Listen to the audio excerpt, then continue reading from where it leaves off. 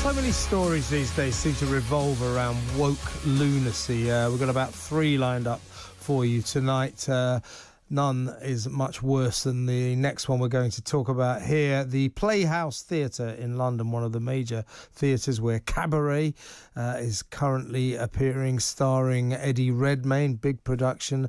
Uh, they've got gender neutral loos now, causing chaos apparently uh, during the intermission as men and women crowd into the same urinals uh, trying to relieve themselves.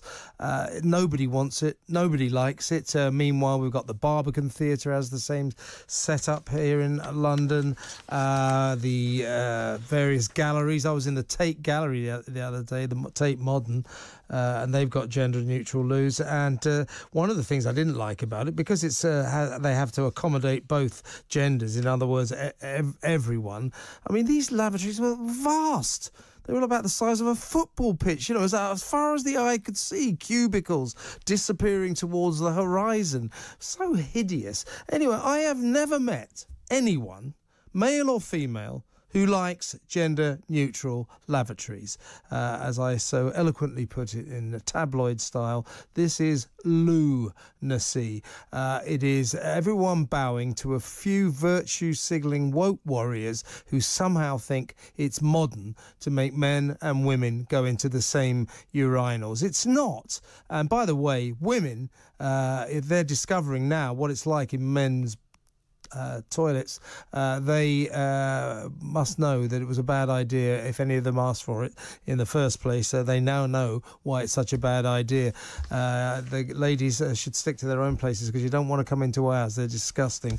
Uh, let's talk to writer for The Spectator and founder of Standing for Women, Kellie-Jay Keen. good evening, Kelly J. Hello, good evening. Uh, you're going to go and see Cabaret at the Playhouse Theatre?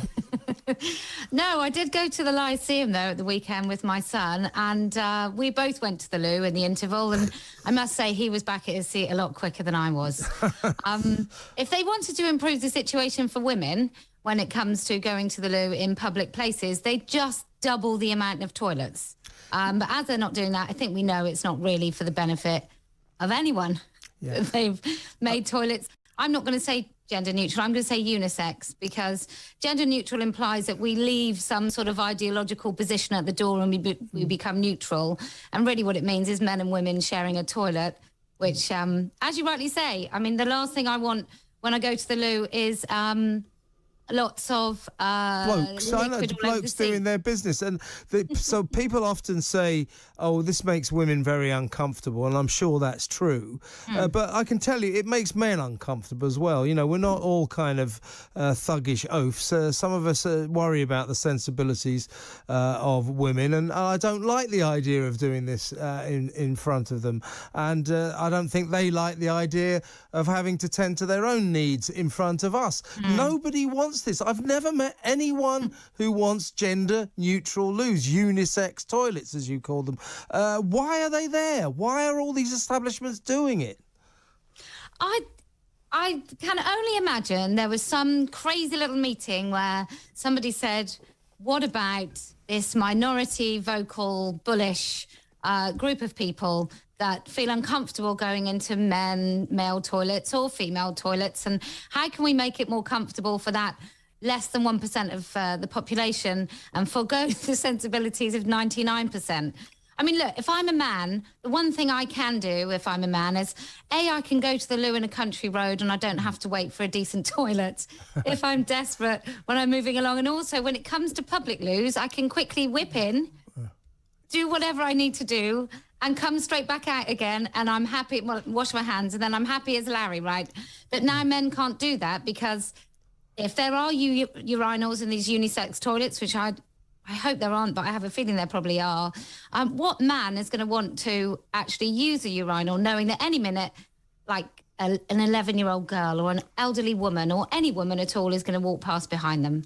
Sarah Vine uh, wrote uh, very eloquently about this in the Mail today, and she she actually said men may enjoy peeing in front of each other, but women are secretive creatures when it comes to toileting. Uh, well, uh, that may well be the case, but uh, what I don't agree with is men men do not enjoy peeing in front of each other. We, but uh, you know, it's just the system. You know, we yeah. go into the, we go into the gents, you go into the ladies, and. Uh, the idea of bringing us all together, I just don't get it. I don't get it. Who nobody wants it, and yet it is imposed on us. And so, apparently, when somebody complained about this at the Playhouse Theatre, uh, one of the staff told this bemused customer, this bemused theatre goer, "Our toilets are gender neutral. If you don't want to use the urinals, that's your call." I mean, that's sensitive, isn't it? I mean, if I were a less of a ladylike woman, I'd say maybe us women ought to protest by using the urinal.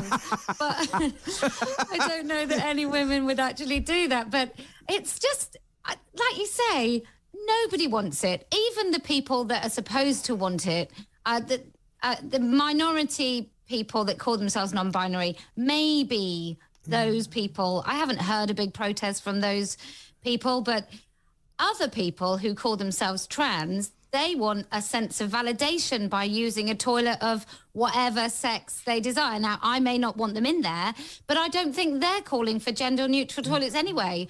So quite who, the reverse. Like say, who is it? Quite the yeah. reverse. I mean, they, they, mm. they, you know, that's what they want. They want to be, you know, uh, classified as women. You know, and I do Kellie-Jay, as you know, I classify them as women, uh, and you don't. but that they want to be able to use ladies' loo, so it doesn't keep them happy. I don't think it's something that the trans lobby would like at all.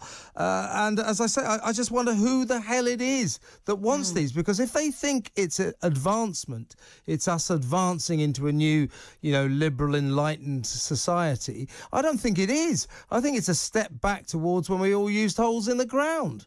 Yeah, well, look, we used to have something called the urinary leash, which was when women felt so uncomfortable um, or there weren't actually any toilets for women, that they would stay at home. And I do think that this will prevent women. We know that schoolgirls, when they've switched to gender neutral toilets, we know that schoolgirls actually do at certain times of the month or maybe always want to stay home because they fear the embarrassment of going into a toilet where there might be a boy.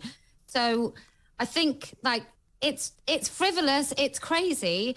The only thing I can think of is that there's somebody with a job that's a diversity and inclusion officer and they really do want to make their job seem like it's a worthwhile thing to do and so they invent these silly ideas uh, to in order to look relevant in the position so they get a wage but I'd say let's just get rid of these people out of their roles. Let's not have diversity inclusion. Let's just treat everybody with respect and we can all move forward very happily and use male and female toilets. Uh, indeed, and uh, this is not my hobby. I don't do this uh, uh often. In fact, I did it once. I once went into uh, at uh, a, a, a, a, ladies' loos by mistake right? Uh, mm. public la- ladies loos by mistake. I walked in, uh, realised I made a mistake because I saw a woman at the w- washing washing her hands. So I turned around immediately. But by the time I turned around, I thought, my God this place is like paradise. uh, I, I, mean, seriously, compared to the blokes' loos, I mean,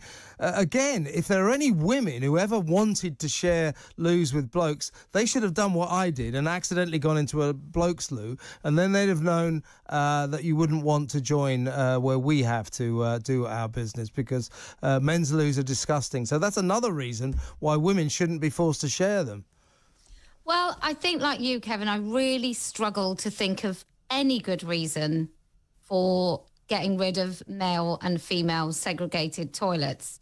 Um, unlike you, I don't think that any man under any circumstances, um, except if it's an accident like you, I will forgive you. Thank you very much. I don't think that I don't think that any man, no matter how he identifies, uh, should ever come in women's toilets. I think it always makes women feel uncomfortable. Gender neutral toilets is is uh, unisex toilets rather is is just for some women, where we don't have our private spaces, our toilets are unisex anyway. Uh, yeah, uh, this is just the, the victory of woke madness over common sense. Nobody wants this.